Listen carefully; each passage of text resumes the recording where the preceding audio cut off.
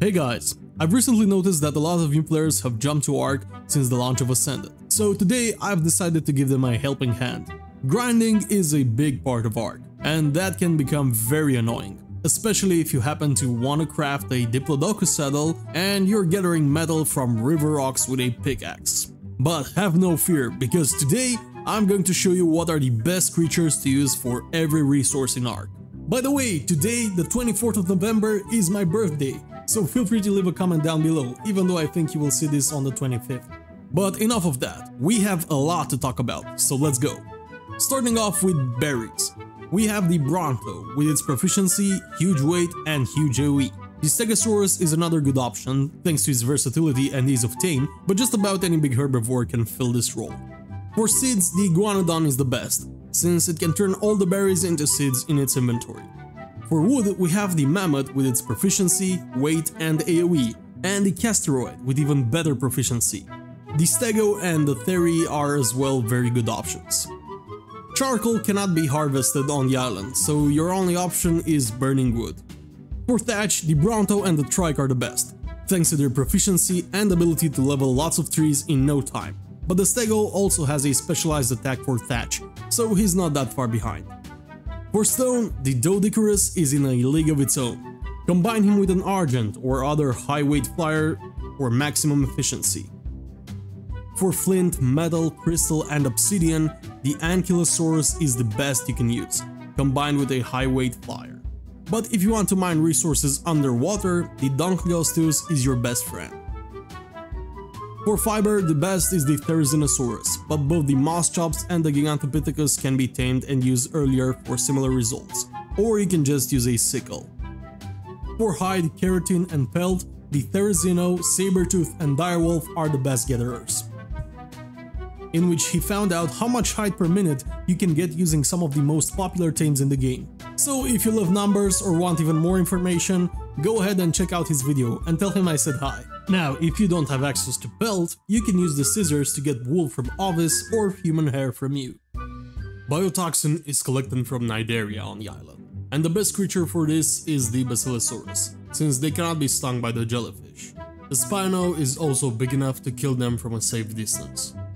For raw meat, raw prime meat and mutton, the carnivores with bite attack are the best. Giga, Carcha and Rex are the creme de la creme but any carnivore with a bite attack is good enough.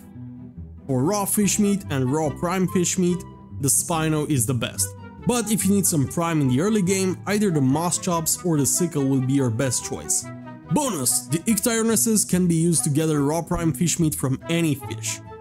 For organic polymer, the Sabertooth, Direbear and Pelagornis excel, but using an above average quality club will work just as well. Sap is a resource used in many recipes, but cannot be harvested using dinos on the island. Using sap taps on redwood trees is the most efficient method.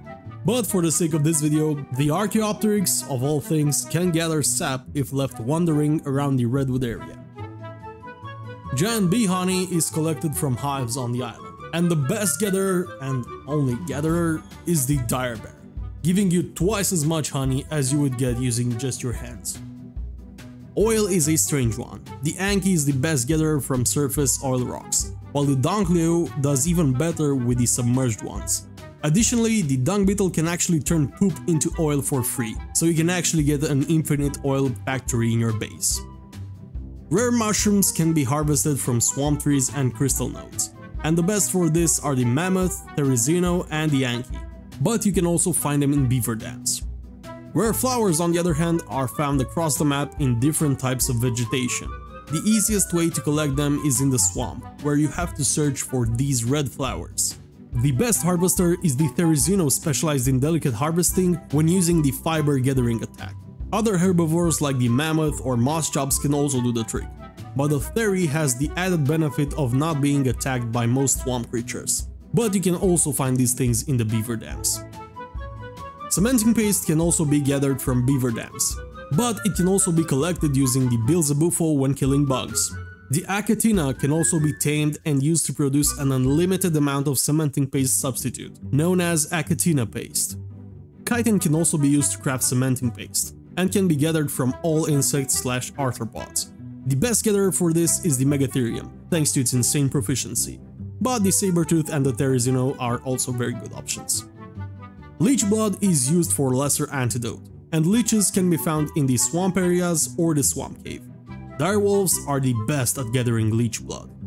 Silica pearls can be collected from crustaceans, with the direwolf and otter of all things having the best proficiency when gathering from corpses, or off the ground, either using your hands or the anglerfish for 4 times the efficiency. You can also find them in beaver dams.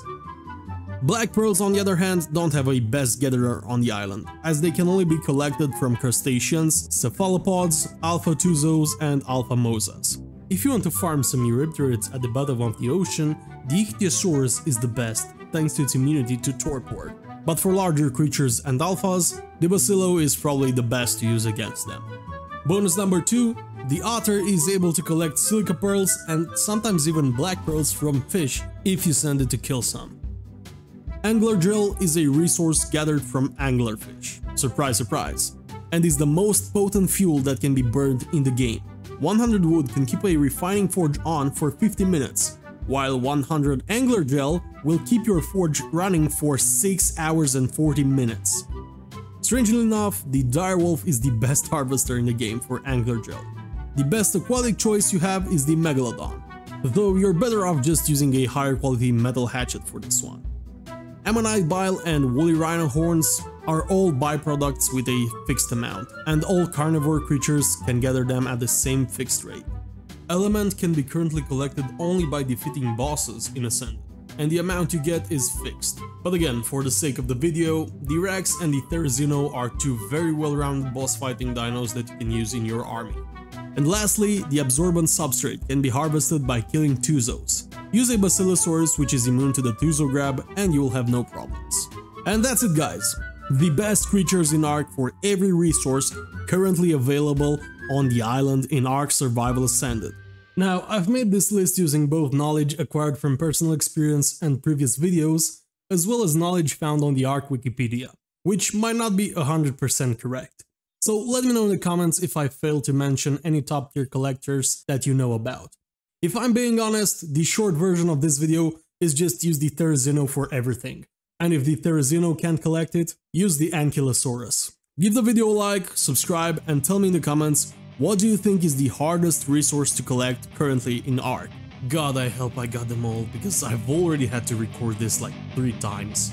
Until next time, Spartacus out.